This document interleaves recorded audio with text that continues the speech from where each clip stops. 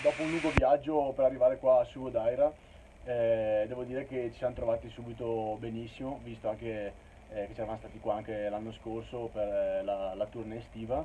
e qui sono tutti davvero molto accoglienti e delle persone eh, bellissime, quindi ci siamo trovati subito bene, a nostro agio. E abbiamo ancora del tempo per prepararci per la prima partita che sarà il 22 settembre contro la Namibia e sicuramente in questo primo, primo match eh, dovremo dare tutto e